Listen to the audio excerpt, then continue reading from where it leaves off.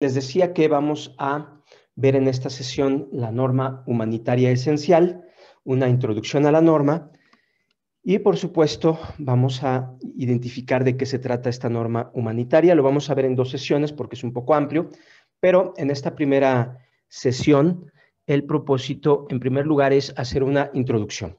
Sabemos que el manual Esfera que estamos estudiando incluye esta norma humanitaria esencial y no es otra cosa más que una norma voluntaria que ya establece indicadores y estos indicadores de desempeño pues nos permiten ya rendir cuentas. Es decir, si ya hay una forma en la que podemos evaluar si se está o no cumpliendo con la norma, entonces ya podemos rendir cuentas. ¿A quién le tenemos que rendir cuentas? A las comunidades, en primer lugar, las comunidades que están sufriendo los efectos, eh, a las personas afectadas, por supuesto, eh, al personal, al personal que está colaborando en la atención, eh, en brindar la asistencia, la protección y garantizar que las personas tengan una condición de vida digna. Y, por supuesto, también a las personas que otorgan recursos, a los donantes y a los gobiernos y a otros actores. Entonces, esta norma tiene como propósito fundamental eh, mostrarnos ya un conjunto de indicadores que nos permitan la rendición de cuentas. También se aplica en todas las fases de la respuesta humanitaria, es decir, desde el inicio, cuando comenzamos la planeación, hasta el cierre de eh, la respuesta humanitaria. Entonces, la norma es eh, esencial en materia de calidad, nos define algunos criterios sobre la calidad de la respuesta. Por supuesto, ya lo dijimos, la rendición de cuentas. Y sobre todo nos establece eh, nueve compromisos. Estos nueve compromisos, del lado derecho está el esquema que encontramos nosotros en, la, en la, guía, en, el manual, perdón, y nos establece nueve compromisos y ah, para cada compromiso hay un criterio y nueve criterios. Entonces lo que ahí vemos nosotros pues son los criterios que van del 1 al 9. Eh, en el centro están las comunidades y personas afectadas por crisis humanitaria, luego una serie de valores de imparcialidad, independencia, neutralidad y humanidad. Y alrededor de ellos pues hay un conjunto de compromisos y particularmente aquí vemos los criterios.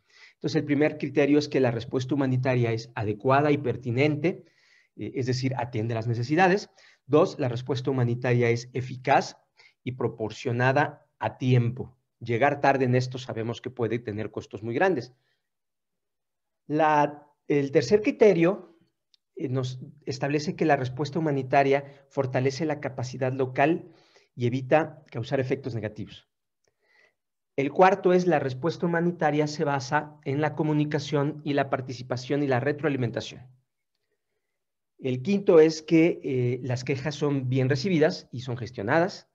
El sexto, la respuesta humanitaria es coordinada y complementaria entre todos los actores que participan. Ya hemos dicho que necesitamos inteligencia, coordinación y recursos. ¿Y con quién debe de ser coordinada? Pues en primer lugar, con las personas afectadas. Para eso está el propósito Cuatro, el criterio 4 que nos dice que tenemos que tener una comunicación una retroalimentación. Y si por algún motivo no se están alcanzando las necesidades, no se están cubriendo las necesidades mínimas de, las personas afectadas, pues tenemos el criterio 5, que es eh, un mecanismo para que haya quejas y puedan ser atendidas.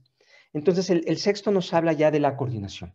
El séptimo nos dice que los actores humanitarios están en un proceso de aprendizaje y mejora constante. Es decir, hay profesionalización.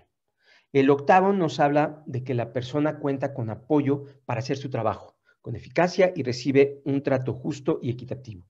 Las personas que participan son muy importantes y tienen que contar con los elementos para poder hacer bien su trabajo. Y por supuesto, el punto nueve nos habla de que los recursos se gestionan y se usan de forma responsable para los fines previstos en nuestro plan. Entonces, recordábamos nosotros que hay un plan de acción. En este plan de acción se establecen eh, todas eh, las acciones que vamos a ejecutar, pero pues no es algo eh, mecánico, porque estamos hablando de seres humanos y estamos hablando de que nuestro propósito es asistirles, ayudarlos en primer lugar, protegerles y garantizar que ellos se puedan autoproteger, por supuesto, y finalmente que puedan vivir, llevar una vida digna en tanto cruzan por este momento tan complejo, tan difícil eh, que están ellos eh, pasando en su crisis en medio de este desastre. Ahora, la estructura de la norma esencial, en primer lugar, pues son los compromisos y los criterios. Son nueve compromisos y nueve criterios. También hay indicadores de desempeño, es decir, cómo podemos medir el progreso eh, de, que estamos cumpliendo, cómo podemos saber si estamos o no cumpliendo cada compromiso. Hay acciones clave, entonces aquí nos marcan algunas acciones, algunas guías, pues para saber este, por dónde empezar, ¿no? Entonces tenemos los nueve compromisos, los nueve criterios, un conjunto de indicadores de desempeño y algunas eh, acciones guía para poder orientar nuestra acción. Eh, hay responsabilidades de la organización, es decir, qué elementos debe cumplir la eh, organización en materia de su forma de administrarse y la forma en la que administra sus recursos humanos, por ejemplo. ¿no? Hay, algunas notas de orientación, ejemplos, información adicional, es decir, las normas de algún modo nos van llevando poco a poco en un proceso donde incluso nos ponen algunos ejemplos, algunos casos que podemos eh, considerar. Y luego vienen algunas preguntas de orientación para que podamos eh, estudiar esto. Esto pues viene en, en algunos instrumentos que están en línea. Entonces, bueno, esta es nuestra norma humanitaria esencial con sus nueve compromisos y sus nueve criterios. Entonces vamos profundizando un poco en cada uno de ellos. En primer lugar, es importante notar en una respuesta humanitaria participan muchas organizaciones y muchas personas. Y por ello es muy importante tener elementos y formas de trabajo comunes. Es decir, tenemos que tener una homologación eh, desde aspectos organizativos, desde cómo definimos ciertas cosas, pero también tenemos que tener eh, criterios comunes y compromisos comunes. Y por eso esta norma establece ambas cosas. Eh, cuáles son nuestros compromisos, cuáles son los criterios para saber si estamos cumpliendo nuestros compromisos. Los indicadores nos dan esos elementos para saber si sí o si no. Y, por supuesto, todo esto hace que aunque vengan muchas organizaciones de fuera, junto con las organizaciones locales. Acuérdense este esquema del desastre, donde están las brigadas locales, pero vienen brigadas de fuera. Pero además estas brigadas locales más las brigadas de fuera tienen que trabajar de la mano con las personas afectadas porque el centro de la atención son las personas afectadas. Y si nosotros no tenemos compromisos comunes, criterios comunes, indicadores comunes, un lenguaje común, pues va a ser muy difícil que todas estas organizaciones se puedan eh, integrar, se puedan coordinar de manera eficaz y puedan hacer que los recursos que, lleguen, que siempre son escasos, pues eh, sirvan de manera eh, eficaz hacia las personas afectadas. Por otro lado, también debemos plantearnos que esta norma humanitaria, repito, tiene como propósito la calidad y la rendición de cuentas. Es decir, calidad entendida como alcanzar ciertos estándares. Y para ello, por supuesto, nuevamente repito, hay nueve compromisos.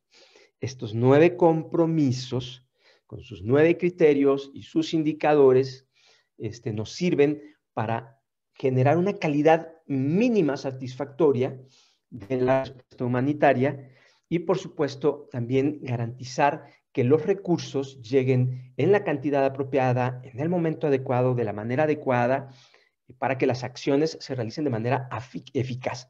Es decir, que la asistencia, que la ayuda, el apoyo que le vamos a dar a las personas que están eh, sufriendo el desastre, afectadas por el desastre, pues eh, sea eficaz. Es decir, que llegue a tiempo, que además de que sea oportuno, llegue lo que se necesita y llegue eh, de la manera en la que nos está haciendo falta Además de eso, también debemos tener en cuenta que esta rendición de cuentas es muy importante. Es decir, si tenemos algunos eh, indicadores, pues ya podemos decir si estos indicadores se están o no cumpliendo para beneficio de las comunidades y las personas afectadas. Para el personal, ya lo dijimos, el personal con esto puede saber eh, qué puedes hacer, qué no puedes hacer, qué te toca alcanzar, cuáles son tus metas y cuáles son las cosas que debes lograr. Por supuesto, también para todas las personas que están eh, asignando recursos, que en algunos casos son organizaciones internacionales, en otros casos son empresas, eh, en la mayoría de los casos aquí en México pues lo hace el gobierno, entonces son recursos públicos y tenemos que rendirle cuentas a la sociedad sobre esos recursos públicos. Y esto incluye, por supuesto, los gobiernos, los gobiernos con los cuales estamos participando. A veces vamos a ser parte del personal, a veces vamos a ser parte del gobierno, a veces podemos ser parte de los donantes. Eh, en este caso nos toca a todos ser parte de las personas afectadas con, la, pandemia de la COVID-19. Entonces, eh, es muy importante entender que hay que rendir cuentas.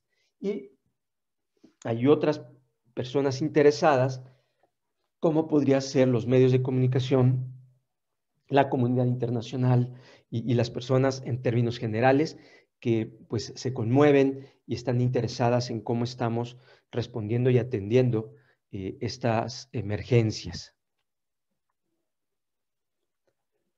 También debemos tomar en cuenta que el compromiso número uno nos dice que las comunidades y personas afectadas por las crisis humanitarias reciben una ayuda adecuada en relación con sus necesidades. Eso es lo que nos estamos comprometiendo, que van a recibir la respuesta, la ayuda, la asistencia adecuada, de acuerdo a qué? A sus necesidades.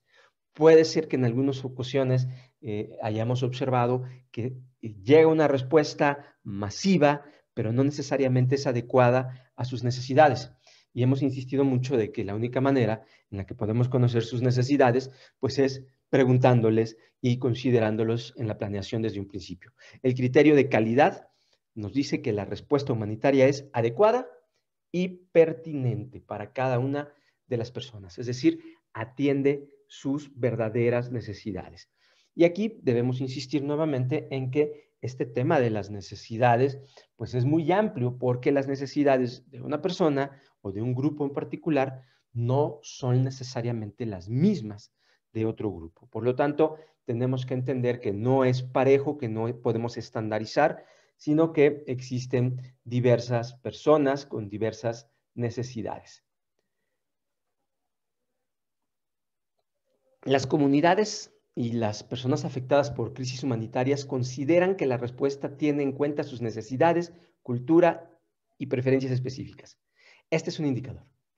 Es decir, eh, si le preguntáramos a las personas afectadas si están recibiendo lo que de verdad necesitan, de acuerdo a su cultura y a sus preferencias, dependiendo de lo que ellos respondan, sabremos si estamos o no cumpliendo las expectativas, las necesidades, las preferencias, y, hemos considerado los diferentes grupos y las diferentes eh, condiciones, ¿no? Aspectos muy simples como, por ejemplo, los eventos luctuosos, eh, las ceremonias religiosas, las necesidades de grupos específicos como niños, eh, como adultos mayores, como personas que eh, utilizan otra, otra lengua para comunicarse. Entonces, debemos considerar que si esas personas consideran que está siendo adecuada, que se están tomando en cuenta sus necesidades, su cultura y sus preferencias, entonces seguramente estamos cumpliendo eh, con este primer compromiso.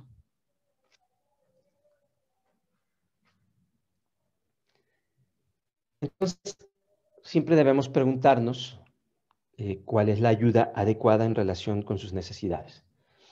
Para ello, tenemos que eh, desagregar a la población en los distintos grupos.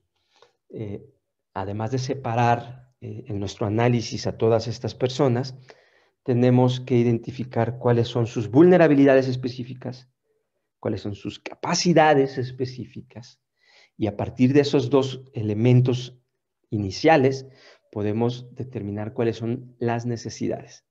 Y esto podemos nosotros eh, utilizar muchos estudios de caso, podemos tener mucha experiencia en muchas emergencias, en muchos desastres.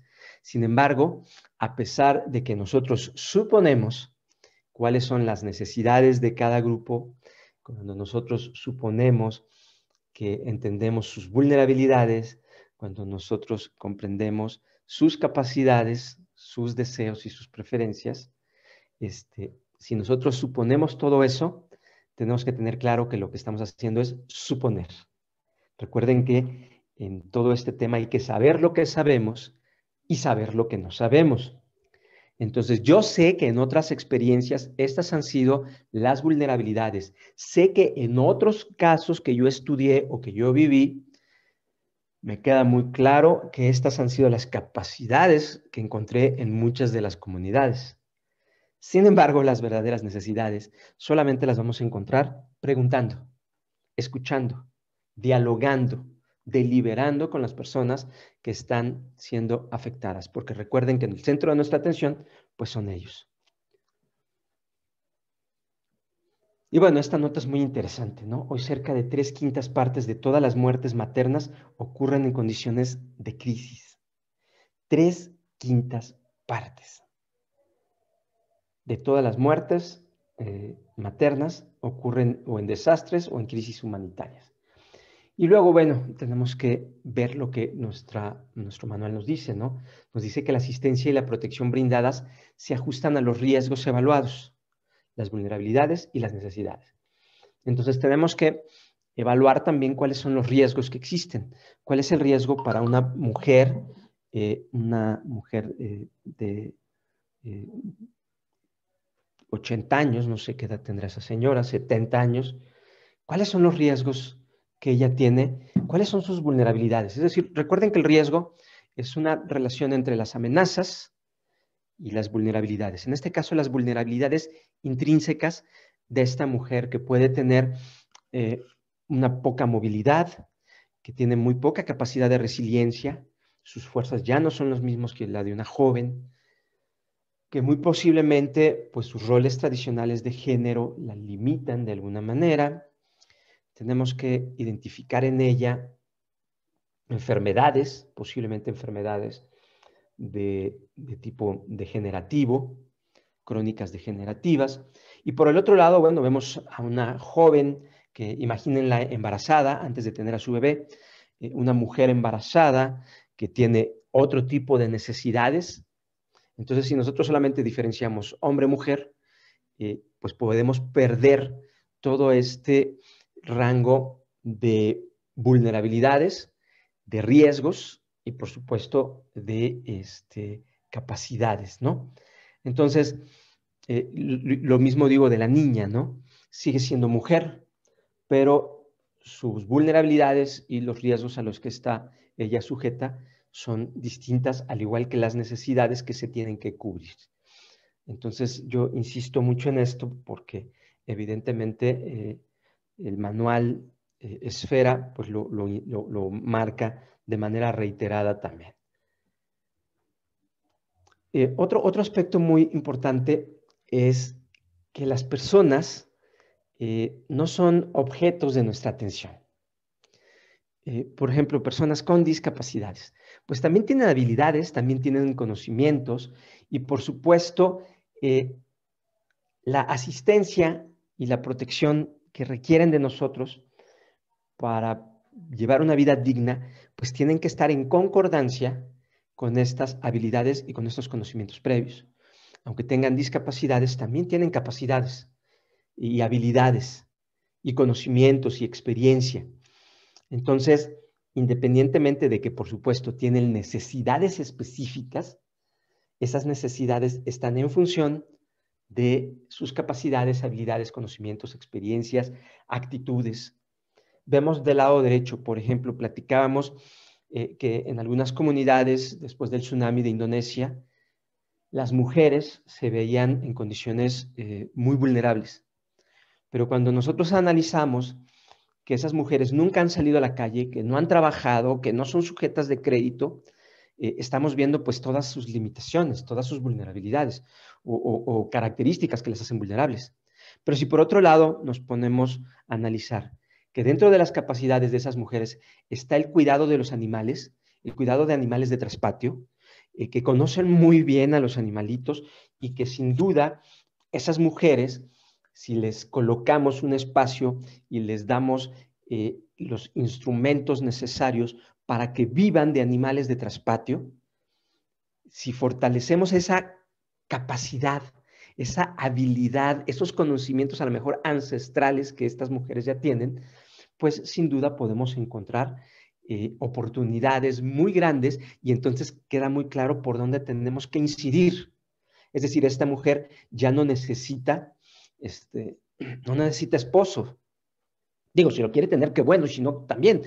Pero ya no es una necesidad para su supervivencia. Ahora, en vez de, esposo, necesita chivos, mulas y uno que otro viejo güey, para que los pueda cuidar y para que con sus propias capacidades, habilidades y conocimientos puedan salir adelante. Entonces, estos son ejemplos muy importantes porque solemos ver a las personas con discapacidades como objetos de atención, como víctimas nada más. Y no notamos que dentro de ellos fluyen, hierven capacidades, habilidades y conocimientos que es muy probable que ellos mismos no los miren en ese momento. Es muy probable que ellos mismos en ese momento de crisis no sean capaces de identificar sus capacidades, sus habilidades y sus conocimientos. Pero nosotros como profesionales sí tenemos que preguntarnos y cuestionarnos permanentemente. Es decir, esas mujeres no las vamos a poder eh, dejar en una condición digna a menos que entendamos sus capacidades, habilidades y conocimientos y potenciemos por ahí para que ellas este, pues puedan mantenerse. Entonces, gran parte de las soluciones fueron cómo fortalecemos los medios de vida de estas mujeres. Y la pregunta fue, ¿qué saben hacer? Porque la primera pregunta es, ¿qué no saben hacer? ¿Cuáles son sus vulnerabilidades? Pues sí, o sea, ¿qué no saben hacer? Es algo que nos sirve para cuidar, para protegerlas de ciertos riesgos. Sus vulnerabilidades se manifiestan a partir de esas limitaciones.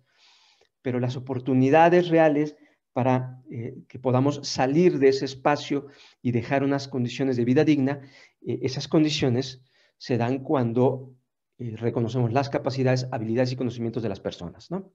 Entonces, parecían las pobrecitas mujeres que necesitaban de nuestra misericordia, que necesitaban únicamente de nuestro apoyo externo.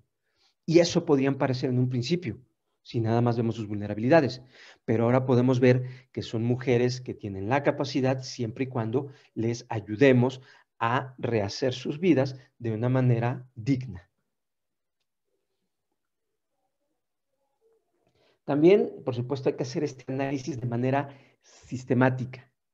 Eh, es decir, veíamos ayer que cuando, ocurre el desastre, el daño es eh, eh, sistémico, se dañan los medios de vida, se daña el hogar, se dañan las carreteras, la infraestructura, por lo tanto tenemos que ver a la persona en su contexto sistémico, de manera objetiva y sobre todo entendiendo que este, el contexto va a ir cambiando y, que hay que considerar desde un principio eh, a las partes interesadas, ¿no? ¿Qué necesita una mujer embarazada bajo este contexto, en este desastre, con esta cultura, con estas capacidades? ¿Qué necesita un hombre adulto mayor con discapacidades, con este escenario, bajo estas condiciones? Y a partir de ello se pueden establecer claramente los objetivos, eh, estrategias que vamos a implementar en nuestro plan de acción para intervenir. Ahora, para evaluar la seguridad y la protección de las poblaciones afectadas, desplazadas y de acogida, con el fin de identificar las amenazas de violencia y toda forma de coerción, negación de la subsistencia o negación de los derechos humanos y fundamentales, tenemos que considerar eh, indicadores para poder evaluar este propósito. Es decir, eh, si nosotros vamos a lograr hacer esta evaluación, tenemos que identificar cuáles son eh, los aspectos que pueden generar tanto la violencia como la coerción, como eh, las barreras que nieguen el, apoyo o la asistencia a las personas, ¿no? Entonces, eso lo, hemos observado, los riesgos alrededor de las personas pueden ser variados. Una persona con discapacidad puede eh, ser aislada eh, en un rincón o incluso abandonada, eh, y no consideradas sus necesidades, o por otro lado, las mujeres eh, o los adultos mayores, como hemos dicho. Por lo tanto, la protección para evitar violencia, para evitar eh, coerción y para evitar que les nieguen la asistencia o que los excluyan de la asistencia, tiene que ser un propósito deliberado.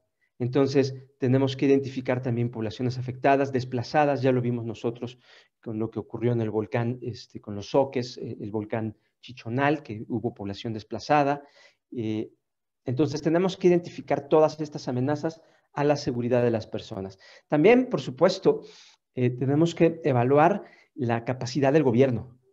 Este, eh, tenemos gobiernos que a veces piensan que este trabajo es pues, repartir unas cuantas maicenas, como vemos ahí, o no sé qué sea eso que le están dando, y, que pareciera que ahí se limita su, su, actuar, ¿no? Cuando en muchas otras ocasiones hemos notado que eh, la actuación puede ser mucho más amplia, mucho más variada, y, por supuesto, los objetivos y propósitos pueden no ser muy claros para los gobiernos. Y nuestro trabajo es incidir, o sea, tener esa visión sistémica completa, traer de la mano nuestro manual esfera, por eso lo estamos estudiando, para que en el caso de que tengamos que atender una emergencia, pues inmediatamente lo, lo revisamos y vemos en dónde pudiéramos tener estas eh, limitaciones. Y algunas de ellas pues tienen que ver, por supuesto, con estos aspectos de eh, la capacidad de las autoridades locales, ¿no?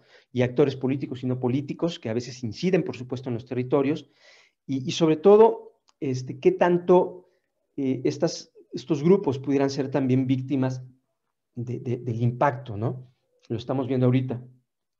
Este, pues muchos compañeros de protección civil, incluso de los servicios, de los servicios médicos de emergencia, de los servicios médicos, pues están siendo parte de las víctimas, ¿no? ¿Qué tanto está impactando la crisis sobre la capacidad para asistir? Porque puede ser que el mismo gobierno sea el que necesite asistencia en determinados escenarios.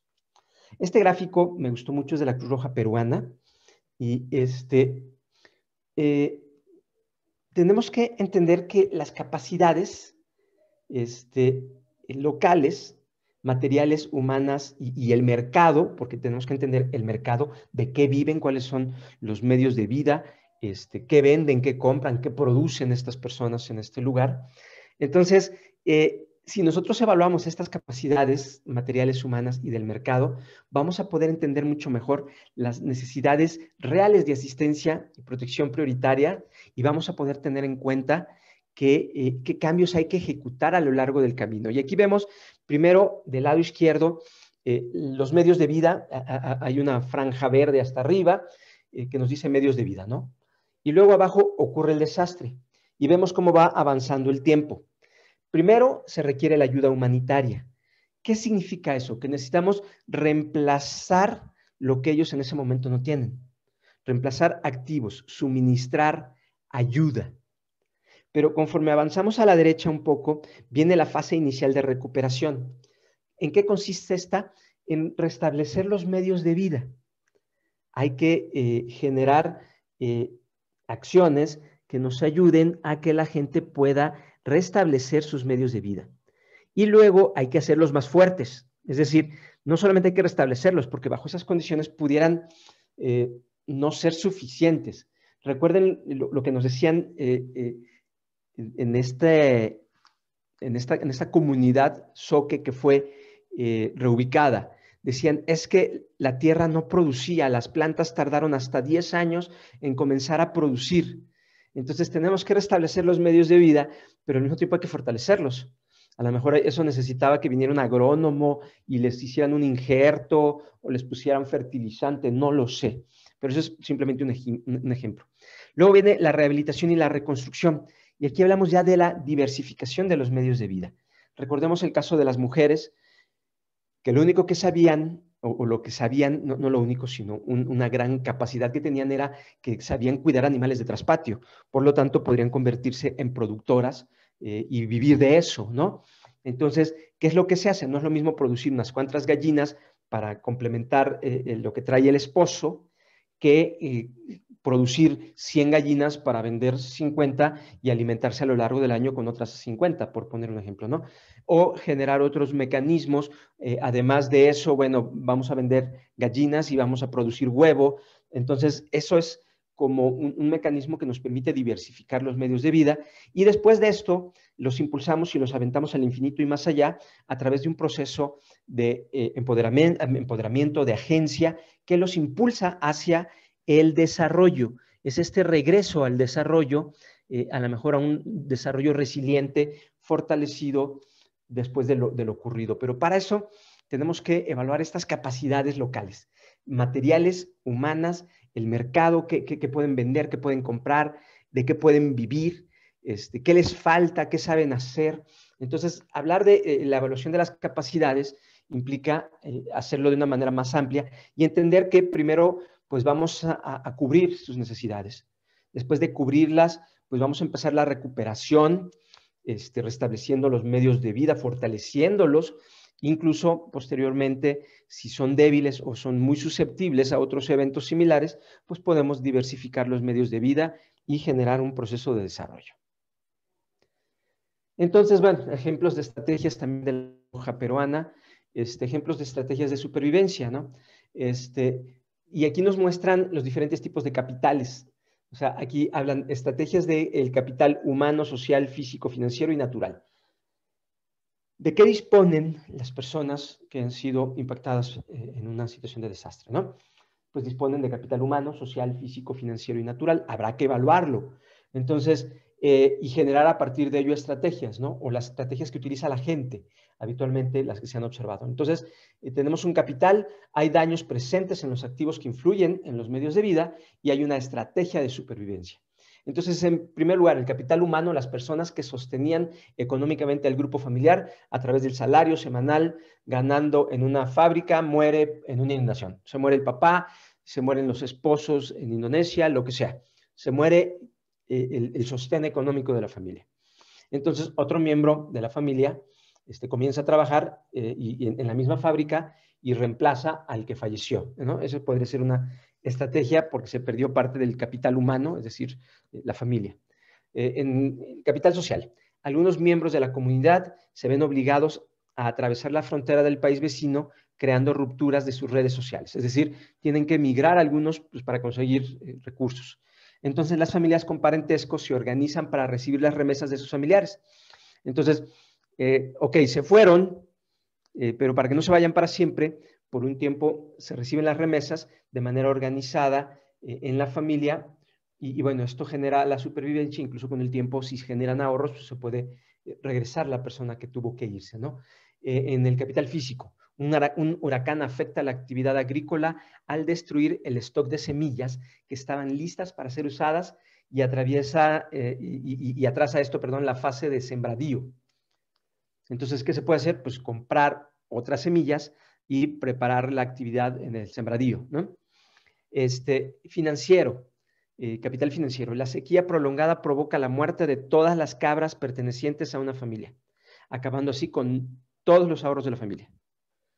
Este, el hijo mayor de la familia trabaja como pastor cuidando las cabras de un vecino. Entonces, esta es otra estrategia para sobrevivir, ¿no? Y, repito, esto no necesariamente implica desarrollo, implica supervivencia, ¿no? Luego, natural, ¿no? Se pierde el capital natural, esto lo vimos también. Las cenizas volcánicas hacen que la tierra que era utilizada para sembrar vegetales no se puede utilizar durante algunos años. Entonces, ¿qué puedo hacer ante eso? Lo, vimos nosotros en el volcán Chichonal. Pues aquí ellos proponen, las familias realizan pequeños huertos de, de hortalizas eh, en altura para abastecimiento de alimentos frescos, ¿no? Este, estos huertos verticales este, huertos familiares verticales, a lo mejor de una manera masiva, pues puedes este, remover parte de la tierra y generas estas eh, acciones verticales, ¿no?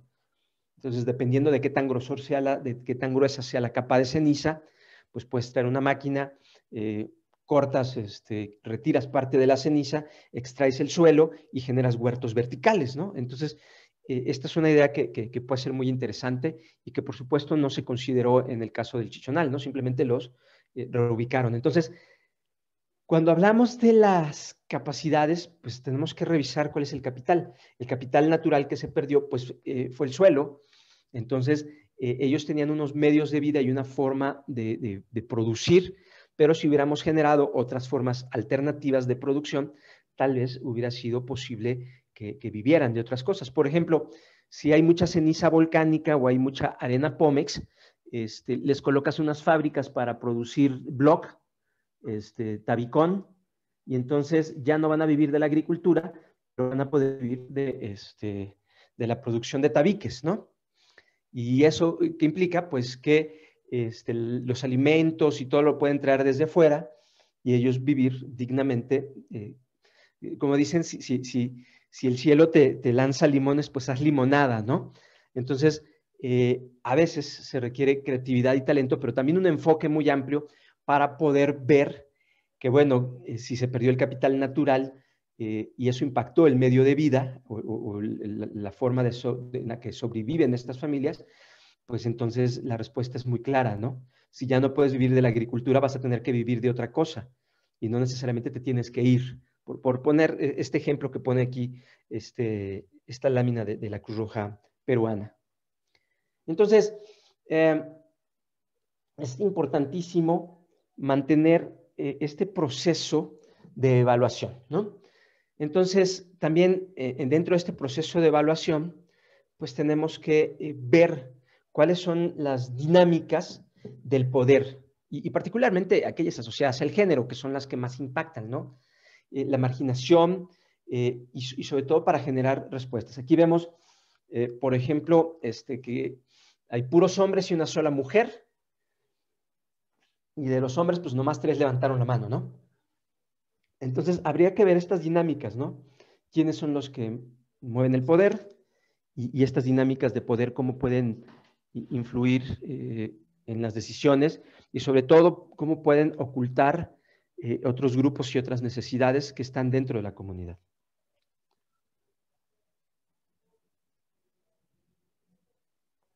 Ahora bien, eh, hay que diseñar e implementar programas adecuados, basados en una evaluación imparcial de las necesidades, los riesgos el conocimiento de las vulnerabilidades, las capacidades de los diferentes grupos. Entonces, cuando hablamos de que hay que hacer inteligencia para poder comenzar el proceso de respuesta, pues eh, nos llegan preguntas muy claras, ¿no?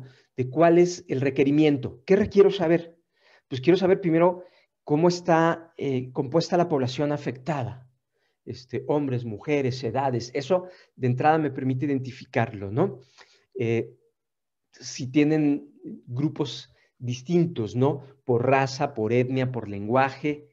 Eh, una vez que tengo esto, para cada uno de estos grupos necesito identificar pero cuáles son sus vulnerabilidades, cuáles son sus capacidades, cuáles son sus riesgos, cuáles son sus necesidades, ¿no? Vulnerabilidades, capacidades, ¿qué necesitan para potenciar sus capacidades y para poder salir por, por su propio pie, ¿no? Entonces, cada grupo, pueden ser niños, pueden ser mujeres, y, además el fenómeno, cada fenómeno nos marca un escenario y un contexto totalmente distinto que no podemos soslayar. Un caso bien interesante ocurrió en Haití.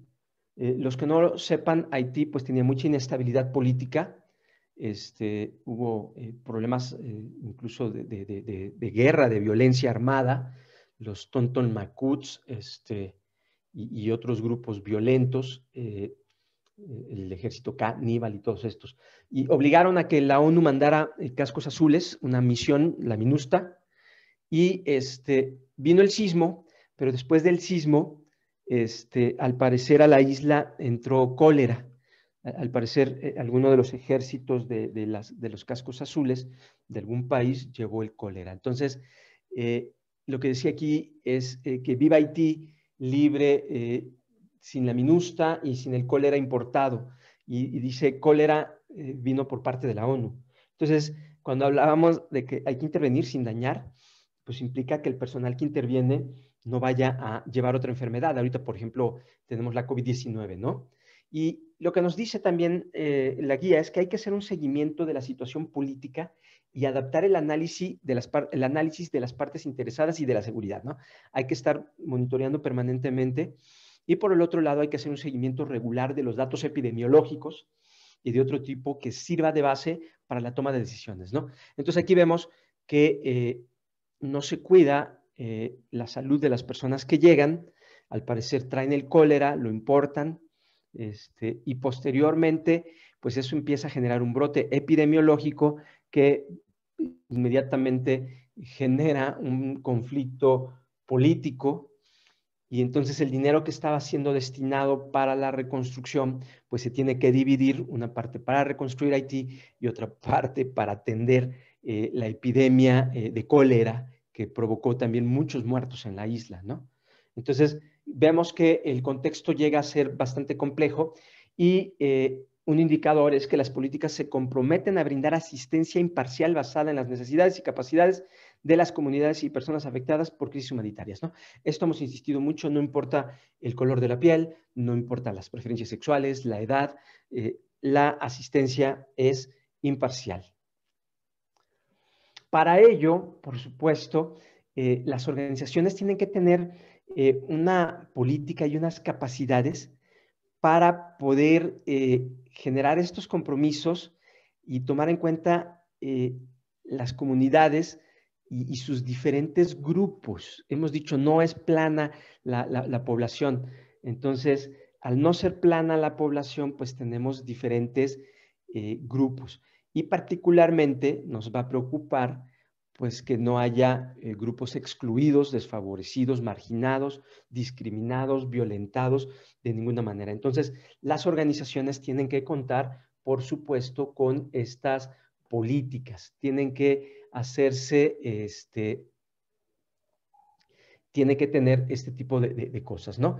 Y luego, este, es, muy interesante mencionar todos estos aspectos de las condiciones que debe de tener eh, la estrategia y la organización que interviene, ¿no? Este, pues no, México no es el único que tiene esos programas y bueno, ya platicaremos de Sembrando Vida porque este, eh, han existido, México tiene desde hace mucho tiempo varios programas. El primero fue el programa Pro Árbol, que planteaba una reforestación, en algunos casos para producción de, maderas, pero aquí el problema es que muchas de las plantas este, que, se, que se siembran a veces pueden no ser necesariamente adaptadas a la región. Entonces, bueno, ese es todo un tema y no, no tiene nada que ver con lo que platicamos, este, o con lo que estamos platicando. En fin, eh, lo que estamos diciendo en realidad es que las políticas de las organizaciones eh, están bien enfocadas eh, para atender a las personas más desprotegidas. Es decir, no podemos tener organizaciones de gestión de riesgos o de protección civil que vayan este, a las comunidades pensando que esto es plano, que vayan a las comunidades pensando que lo saben todo o pensando que como ya han ido a otras experiencias, no necesariamente necesitan preguntarle a la gente o consultar eh, a las personas sobre sus necesidades. Nuestro sistema de inteligencia de riesgos nos debe de llevar a comprender quiénes son esas personas, qué capacidades tienen, qué vulnerabilidades tienen, qué necesidades tienen de asistencia, de protección, eh, qué opinan, cómo quieren que las cosas sean para que al final de cuentas podamos eh, garantizar una vida digna para esos grupos sociales, ¿no? Entonces, algo que también es importante es que las personas involucradas en la acción humanitaria están capacitadas para esto. Y esto que yo les estoy diciendo ahorita eh, pudiera parecer eh, muy lógico, pero la gran mayoría de las instituciones de la Protección Civil de México no se han preparado de fondo en estos temas. En Cruz Roja posiblemente habrá algunos grupos, de hecho, el Premio Nacional de Protección Civil algún día lo ganó Cruz Roja en Tabasco por un trabajo que hizo en algunas comunidades, particularmente bajo el enfoque ABC. El enfoque ABC que utiliza Cruz Roja es A, B y C. ¿Sale? Y es eh, análisis, de ahí viene la A, la B es B, de vaca o B labial, análisis de vulnerabilidades y la C es capacidades. Entonces, es el mismo enfoque. Hay que analizar las vulnerabilidades, las capacidades de las personas eh, antes de que ocurra algún evento. Es muy importante, lo podemos hacer mucho antes para fortalecerlos y mejorar sus capacidades eh, y reducir sus vulnerabilidades pero en el momento que se da la emergencia, en el momento que comienza el desastre, como quiera que sea, también tenemos que saberlo. Y por lo tanto, el personal debe de estar capacitado en esto y tiene que haber este, esta habilidad de inteligencia. Fíjense lo que les estoy mencionando. Hay que tener inteligencia para obtener los datos.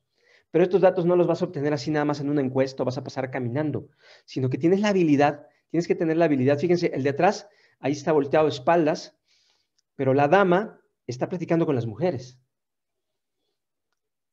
Y posiblemente él pueda platicar con otros hombres, pero al final de cuentas tiene que haber un plan deliberado de inteligencia. Es decir, tiene que haber un requerimiento, qué es lo que quiero saber permanentemente, cómo va cambiando y cómo va variando para cada grupo. Eh, tiene que haber ese conocimiento. Y para ello tiene que haber un requerimiento, un plan de acción y hay que saber ejecutar ese plan. Entonces, de manera continua, eh, estas personas tienen que estar haciendo preguntas, tienen que obtener datos, tienen que reportar esos datos para que entonces sí podamos hacer eh, la pirámide de inteligencia.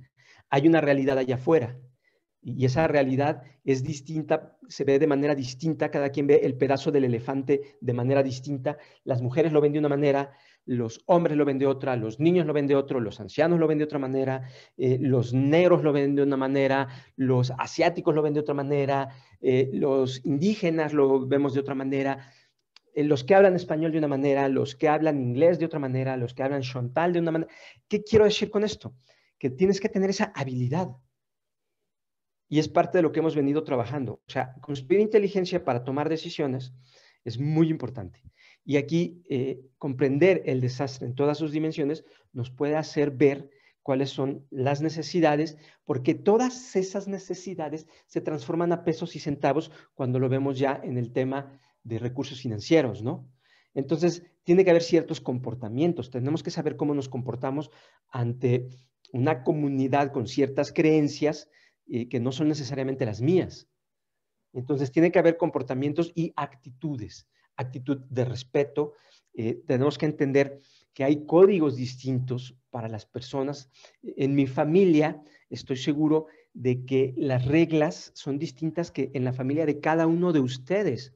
Y así cada uno de nosotros tenemos actitudes distintas que podemos considerar respetuosas o irrespetuosas. Si eso ocurre entre familias chilangas, imagínense lo que puede ocurrir cuando ya estás hablando de familias de, pueblos indígenas o de otro país. Eh, eh, eh, puede ser muy complejo que nos podamos entender, por eso tenemos que tener estas habilidades para poder adquirir estos conocimientos que nos permitan tomar las mejores decisiones.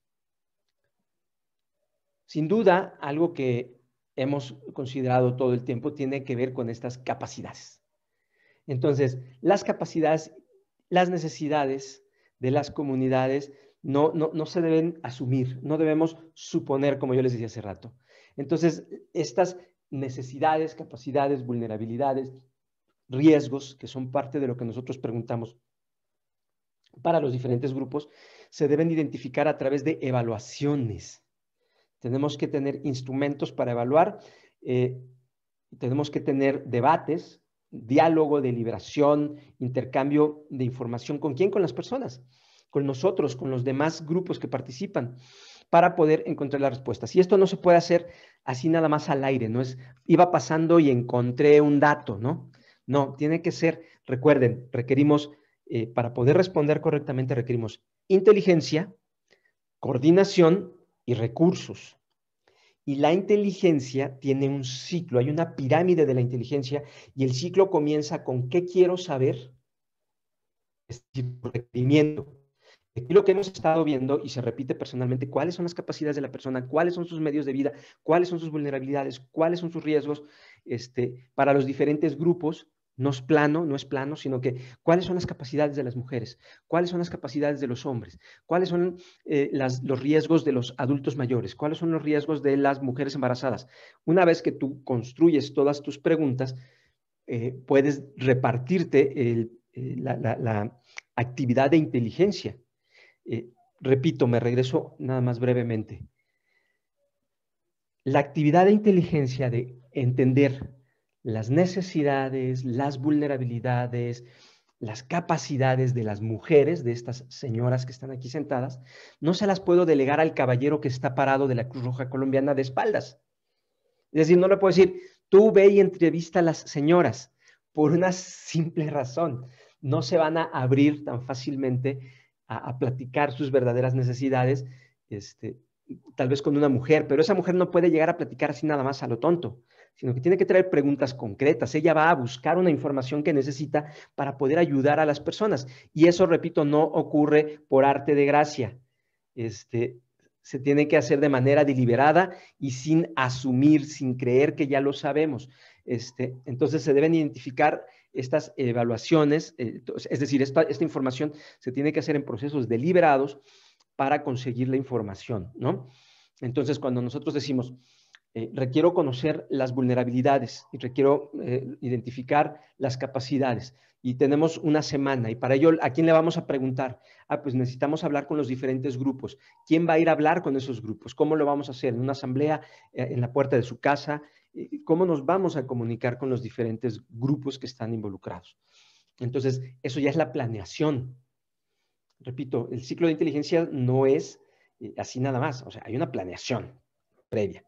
Y por otro lado, también tenemos que tener en cuenta que eh, eh, actuar con imparcialidad no significa tratar a todas las personas de la misma manera. Repito, eh, la, persona que no conoce de este, de, este tipo de eventos ve todas esas mantas que están ahí, están las familias damnificadas, alrededor están sus casas rotas, ¿no? Este, y cualquiera podría contar y decir, bueno, vamos a contar a la gente y todos son parejitos. Y no lo son. Entonces, actuar con imparcialidad no significa tratar igual a hombres y mujeres. No, pues a ver, no que querían feminismo, pues ahora éntrele. No, no es cierto, no es cierto. No puedes pensar que, son lo mismo. Entonces, para brindar una asistencia basada en sus derechos, es necesario comprender las distintas capacidades, repito, y, lo insisto mucho porque el manual así lo repite, cuando nosotros hacemos nuestro, la planeación de la inteligencia que necesitamos para evaluar, cómo está nuestra emergencia y para saber qué necesidades hay que cubrir, tenemos que partir, repito, hay un requerimiento, planeamos dónde vamos a obtener la información, cómo vamos a obtener la información, vamos al campo, recibimos la información, traemos el dato, lo procesamos, es decir, lo convertimos en información, lo analizamos, generamos un conocimiento. Y entonces sí podemos decir, a ver, las capacidades de las mujeres son estas por esto y esto y esto, las capacidades son estas otras para los eh, adultos mayores, eh, cuáles son las necesidades reales, qué necesidades observamos y por supuesto cuáles son las vulnerabilidades. ¿no? Entonces, cuando ustedes hagan el ciclo de inteligencia y digan requerimiento, ¿qué quiero saber? Pues lo primero que tienen que ponerles las capacidades de la gente, las vulnerabilidades de la gente las necesidades de la gente. Y cuando hablo de la gente me estoy refiriendo a los diferentes grupos, no parejitos. Las capacidades de los hombres, de qué viven, las mujeres, cómo aportan ellas a los medios de vida, este, cuáles son las necesidades de seguridad, de asistencia para las mujeres o para los discapacitados o los riesgos que están viviendo las personas con preferencias sexuales distintas, por ejemplo, ¿no? Y pues todo esto nos va llevando poco a poco a entender que las personas y comunidades afectadas tienen habilidades y conocimientos y capacidades previas. ¿Cuáles? No lo sé, los tienes que investigar. Entonces no puedes ir a imponer nada si no generas antes un proceso. O sea, más bien no puedes ir a imponer nada. Lo que tienes que hacer es generar un proceso que te permita comprender lo que ellos necesitan y después proponer junto con ellos y construir y, hay varias formas, ahorita lo vamos a ver, de participación, ¿no? ¿Para qué? Pues para defender el derecho a vivir con dignidad debe involucrarse a las personas en las decisiones. Es decir, eh, nadie puede vivir con dignidad si no lo toman en cuenta, ¿no? Si no te pelan en tu casa, pues tienes que hacer algo para que te pelen. Pero si no te pelan en el desastre, es porque las organizaciones que están interviniendo no están haciendo bien su trabajo. Entonces puede ser necesario realizar este, eh, acciones para reforzar la participación de los grupos poco representados. Entonces, los grupos menos representados, otra vez aquí vemos puros machines, eh, excepto la güera, que es la que les está enseñando, pero pues no vemos eh, a lo mejor a las mujeres, ¿no? Que estén participando. Y, no quiere decir que estén haciendo mal su trabajo, a lo mejor esta actividad habían acordado que la hacían nada más los hombres, pero a lo que voy yo es a que hay otros casos donde son las mujeres las que hacen ese trabajo, ¿no? Y para ello, bueno, se requieren eh, personas capacitadas. El compromiso 2 nos dice que las comunidades y personas afectadas por crisis humanitarias tienen acceso a la asistencia humanitaria que necesitan rápido en el momento en el que se necesita. Y el criterio de calidad es eh, que la respuesta humanitaria es eficaz y proporcionada justo a tiempo. Y para ello, bueno, por supuesto, hay muchos medios para lograrlo. Aquí vemos un helicóptero MI-17 de la Secretaría de Marina. Y se tienen que identificar y señalar con claridad cualquier limitación en caso de que no sea posible evaluar y cubrir las necesidades de una zona o grupo. Es decir, no puedo llegar y decir de repente, ah, pues ya no pude pasar y pues ni modo, ¿no? Hay que se queden solos. Más bien lo que tengo que hacer es no pude ir, comunicar que no pude ir y que hay un grupo de necesidades que no conozco y este, hay lugares de difícil acceso y que por allá en la sierra están y no sabemos cómo les fue. Este, y, no dar por sentado o darnos la vuelta y, y, olvidarnos, porque hay otros medios, como pueden ser los medios aéreos y muchas otras formas en las que podemos acceder. Observen, e, este compañero de la Secretaría de Marina está dialogando con la gente, está escuchando, pero a lo mejor no lo notan, pero el señor está apuntando, está tomando nota. ¿Por qué? Porque es muy probable que ellos tengan todo un protocolo de inteligencia, este, tal vez no, no, como lo plantea eh, Esfera eh, al 100%, pero es ir, comunicarte, obtener. Entonces hay que reconocer que los conocimientos este, reconocer que los conocimientos en los que se van a basar las decisiones estarán incompletos en las primeras etapas de una crisis. Y esto implica que vamos a ir puliendo. Es decir, en un principio no vemos el elefante completo, nos faltan muchos datos, pero tenemos que ver el tablero completo para identificar en dónde hay huecos y saber que en un principio los conocimientos no van a ser suficientes. Y por supuesto, si nosotros identificamos eh, una necesidad no cubierta, debemos comunicarlo a las demás organizaciones para que alguien que tenga eh, la autoridad, para que tenga alguien que tenga el conocimiento, pues intervenga. Y para ello, pues hay que estar abogando, insistiendo en que hay una necesidad que está creciendo en un cierto lugar, ¿no? Hay que evaluar es decir, supervisar implica verificar cómo se está tomando las decisiones y hay que supervisar que las actividades, los productos y los resultados de la respuesta este, estén cumpliendo. Y si no están cumpliendo, hay que adaptarlos para solucionar las deficiencias que se estén dando en el desempeño en la respuesta. Hay que contar con sistemas de alerta. Eh, hay que tener un sistema de pronóstico y alerta temprana que permita identificar cuando las cosas no están funcionando o cuando una nueva amenaza está creciendo. Entonces, todos los organismos tienen que participar en la comunicación de amenazas que pudieran estar manifestándose a través de sistemas de alerta temprana. Nuestro compromiso 3 nos dice que las comunidades y personas afectadas por crisis humanitarias no se pueden ver perjudicadas este, por lo que nosotros hacemos. Y por supuesto, este, al terminar están más sólidas, son más resilientes, están menos expuestas al riesgo eh, porque nosotros intervenimos. Entonces, nuestro actuar las tiene que fortalecer, empoderar, darles agencia, ¿no? Y la respuesta, el criterio es que la respuesta humanitaria fortalece las capacidades locales y evita causar efectos negativos. Entonces, eh, veíamos estos casos, ¿no? Donde las comunidades y las personas afectadas por crisis humanitarias se consideran más capaces de resistir futuros choques. ¿Gracias a qué? A que intervenimos. Es decir, en vez de generar efectos negativos, estamos provocando el mayor número de efectos positivos.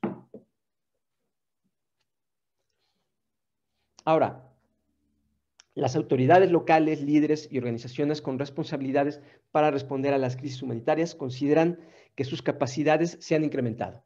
¿Recuerdan estos escenarios donde hablábamos de osos durmiendo, tigres furiosos, patos volando y abejas trabajando? Cuando bajábamos hacia abejas trabajando, eh, la capacidad había crecido. Es decir, habíamos incrementado nuestra capacidad como autoridad después del evento. También algo que debemos tener en cuenta es que las comunidades y personas afectadas por crisis humanitarias, incluidas las personas vulnerables y marginadas, no identifican ningún efecto negativo derivado de la acción humanitaria.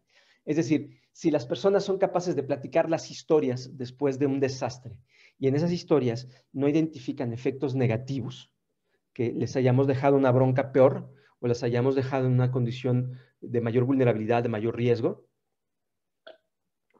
si eso ocurre quiere decir que vamos por buen camino. También hay que garantizar que los programas se basen en las capacidades locales y que estén dirigidos a mejorar la resiliencia de las comunidades, es decir, hay que empoderarlas y darles agencia. En ese sentido, hay que apoyar las iniciativas de los grupos y las organizaciones locales como plataforma para el aprendizaje y el fortalecimiento de la capacidad. Muchas veces no hay organización, entonces parte de lo que tenemos que hacer en un principio es pues organizar a la comunidad, ¿no? A ver, vamos a ponernos de acuerdo, qué vamos a hacer, eh, cuáles son las necesidades. Para esto se puede hacer de manera grupal o la, la inteligencia se hace de manera independiente. Y una vez que identificaste un problema, pues vas y lo dices tú. Es decir, a lo mejor la mujer no lo va a decir por miedo a ser agredida, pero tú como la, eh, el, que está llevando la, asistencia, puedes decir, a ver, señores, eh, hemos encontrado que algunas mujeres están teniendo este problema y no es correcto y no es justo, y nuestras reglas nos dicen que no podemos permitir que las cosas se hagan de esta manera. Eh, pero para eso tienes que tener una organización. Entonces, tiene que haber organizaciones locales eh, hay que fortalecerlas para que al final de cuentas nos sirvan para generar este fortalecimiento, aprendizaje, para incrementar las capacidades y sobre todo para que se reduzcan los efectos, para que regresemos a abejas trabajando, no solamente como eh, autoridades, sino como comunidad. Entonces, eh, planificar en las etapas iniciales del programa humanitario una estrategia de transición es decir, desde que entramos ya nos tenemos que pensar en ir, que garantice la persistencia de los efectos positivos a largo plazo y reduzca los riesgos de la dependencia. Hay que empoderar, brindar agencia para que cuando nosotros nos retiremos de ese lugar, las personas pues hayan eh, terminado en una, en una, situación de mayor empoderamiento. Aquí utilizo muchas imágenes de, mujeres reconstruyendo porque me parece que, ese es un ejemplo muy claro, pero lo mismo podemos ver para personas adultos mayores o para personas con eh, discapacidad o con preferencias sexuales distintas. ¿no?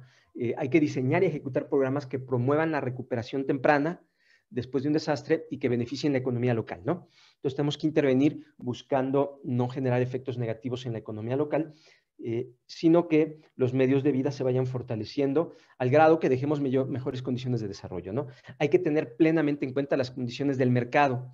Fíjense todos estos productos que estamos llevando, ¿no? Este, si nosotros los llevamos de fuera y hay 20 tienditas, pues esas tienditas se quedaron sin venta porque estamos mandando las cosas eh, desde afuera.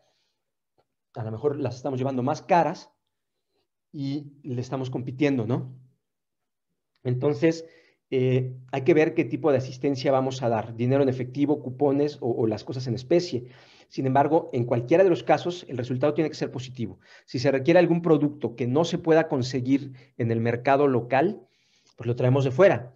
Pero si se puede conseguir en el mercado local, lo ideal es eh, comprarlo ahí. Ahora, por otro lado, este, vamos a comprar, mm, no sé, pañales. La pregunta es, ¿pañales de qué tamaño, no? O sea, hay muchos tamaños de, pañal, ¿no? Hay para 9 kilos, para 3 kilos, para 6 kilos. Y, no son 6 kilos de caquita, ¿eh? son 6 kilos del peso del bebé. Entonces, los pañales tienen diferentes tamaños, entonces no puedes mandar pañales este, parejos, ¿no? Entonces, a lo mejor es mejor, eh, tal vez sea mejor mandar el dinero en efectivo para, que ellos lo puedan eh, comprar, si es que en el mercado local lo pueden conseguir. Y bueno, por supuesto que estas ayudas en efectivo pueden generar cierto tipo de riesgos. O sea, no podemos decir que eh, estamos libres de riesgos o que todos ahí son unos santos buenos benefactores.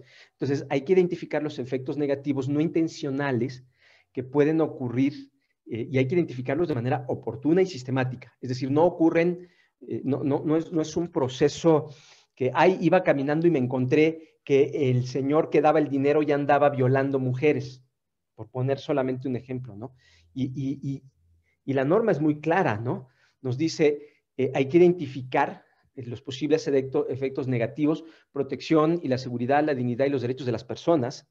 Podemos eh, identificar explotación y, abuso sexual por parte del personal.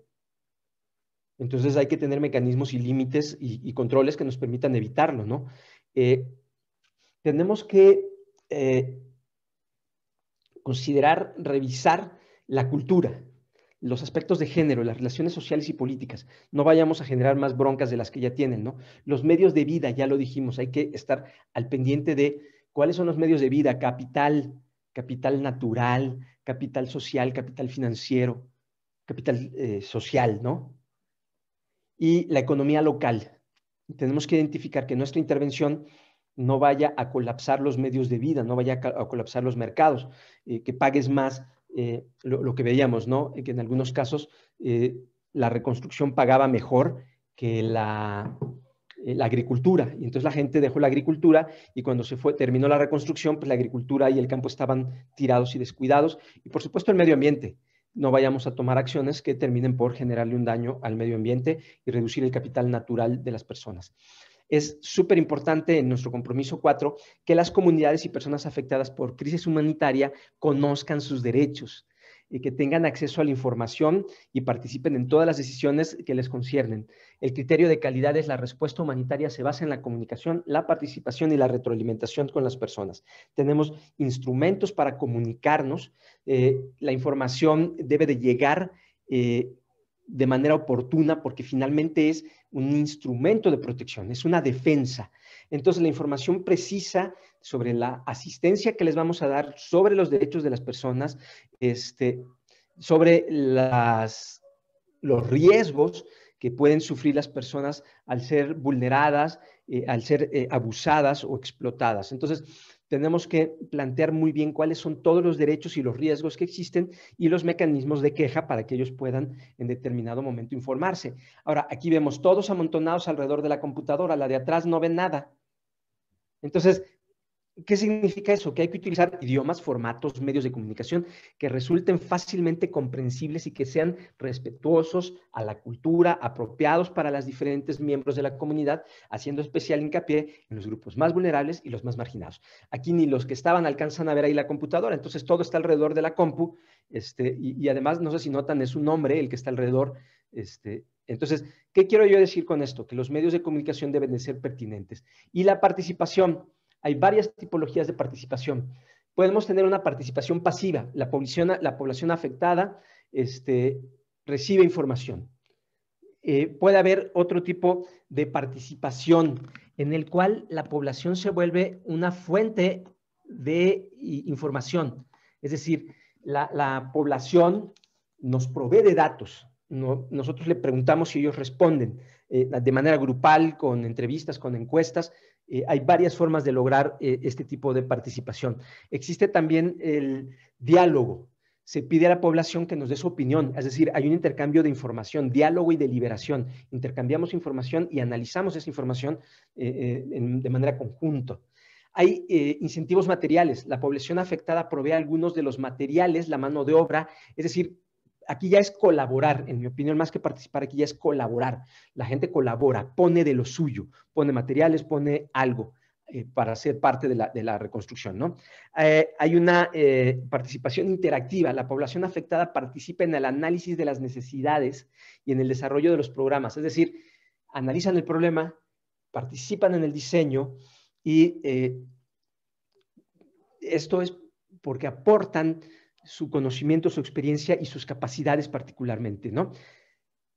Y por supuesto, las organizaciones locales pueden construir la iniciativa, ¿no? Es decir, ya de manera independiente se organizan, eh, dialogan, y esto es lo ideal, ¿no? Antes de salirnos, lo ideal es que haya iniciativas locales y este, para que se puedan construir las alternativas, las soluciones, y eso no implica que no puedan solicitar apoyo externo, ¿no? Es decir, puede ser que se requiera un apoyo externo. Ahora, para terminar, vamos a ver rápidamente un video.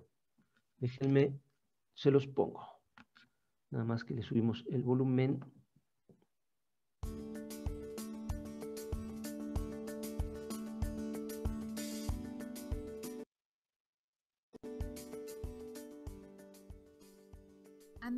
crisis socavan aún más la situación de las personas que ya son vulnerables. En esta clase de situaciones, las organizaciones humanitarias tienen mucho poder. Así, es importante que estas organizaciones utilicen su poder y sus recursos de manera responsable. Por ejemplo, dando voz a las personas y comunidades afectadas y proporcionándoles los medios necesarios para que las organizaciones rindan cuentas.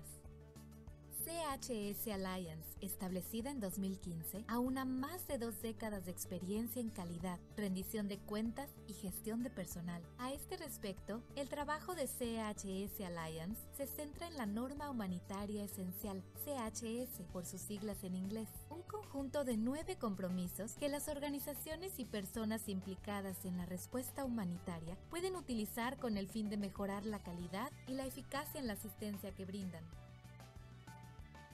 Cuando un desastre acontece, la solidaridad nos impulsa a compartir nuestros recursos y conocimiento con la esperanza de que nuestra contribución sea significativa. Sin embargo, en ocasiones puede producirse un desajuste entre lo que queremos y lo que podemos ofrecer y entre lo que es adecuado o necesario. Para asegurarse de que la respuesta humanitaria es adecuada y pertinente, es importante cerciorarse de que se analicen el contexto, así como las necesidades y capacidades de las comunidades. Para ser eficaz, la respuesta humanitaria debe ser oportuna. En algunos casos, eso implica lo más rápido posible. No obstante, en otros, conlleva ajustar el calendario estacional o sencillamente cumplir y compartir las fechas límites con las comunidades. Incluso con las mejores intenciones, nuestras acciones pueden llegar a tener consecuencias negativas. Antes de planificar e implementar una respuesta humanitaria, hay que asegurarse de minimizar las consecuencias negativas que la respuesta puede tener en la economía y los medios de vida locales, en el entorno, en la protección de las personas o en la cohesión social. Piensen cómo incrementar la colaboración entre los actores locales, nacionales e internacionales y cómo fortalecer las capacidades locales. El hecho de saber a qué se han comprometido las organizaciones humanitarias permite que las comunidades y las personas afectadas por la crisis puedan exigir que se les rinda cuentas al respecto. Asegúrese de que involucra a las comunidades mediante intercambios de información en diferentes lenguas, formatos y medios fácilmente comprensibles que sean culturalmente adecuados y accesibles para todos y todas y anímelos o anímelas a expresarse. Si pese a sus esfuerzos algo va mal, las comunidades y las personas afectadas por la crisis deben estar informadas y tener acceso a mecanismos seguros y ágiles de queja. Una crisis humanitaria puede ser caótica y confusa, sobre todo si hay muchas organizaciones respondiendo al mismo tiempo. Las comunidades y personas afectadas por la crisis deben recibir una ayuda coordinada y complementaria, por lo que debe asegurarse de quién está haciendo qué. De esta manera podrá reducir las demandas de las comunidades y aumentar el impacto de la respuesta. Es normal cometer errores, especialmente en entornos complejos. Sin embargo, las comunidades y personas afectadas por la crisis esperan que se les brinde una ayuda de calidad, ya que las organizaciones aprenden de la experiencia y de la reflexión. Antes de diseñar sus programas, asegúrese de tener en cuenta las lecciones aprendidas en crisis y contextos similares. Escuche la opinión de las comunidades para adaptar sus acciones y comparta su aprendizaje con los y las demás para que estos o estas también puedan aprender. Un personal competente que recibe el apoyo adecuado puede arreglar un plan mal diseñado, pero incluso una planificación perfecta puede fracasar si no cuenta con personas que tengan valores y habilidades adecuadas. Asegúrese de que su personal cuenta con apoyo para hacer su trabajo con eficacia y que recibe un trato justo. Para asegurarse de que los esfuerzos humanitarios son eficaces, las organizaciones humanitarias deben gestionar y utilizar sus recursos de manera responsable. Ello implica, por ejemplo, minimizar las pérdidas, tomar medidas para limitar el riesgo de fraude y corrupción o considerar el impacto que se puede generar sobre el medio ambiente al utilizar recursos locales y naturales. Como norma esencial, la CHS describe los elementos fundamentales de una acción humanitaria de calidad, responsable y basada en principios, Rendir cuentas a las poblaciones afectadas y al personal puede transformar la forma en que se brinda la ayuda. Pues bien, lograrlo es sencillo y CHS Alliance está aquí para ayudarle. Si nos comprometemos juntos y juntas a poner en práctica la norma humanitaria esencial, lograremos una acción humanitaria que rinda cuentas a las personas que lo necesitan. Bueno, como verán ustedes, hay una alianza para cumplir eh, la norma humanitaria a nivel internacional y que, bueno, eh, establece distintas estrategias. Y esto sería todo por el día de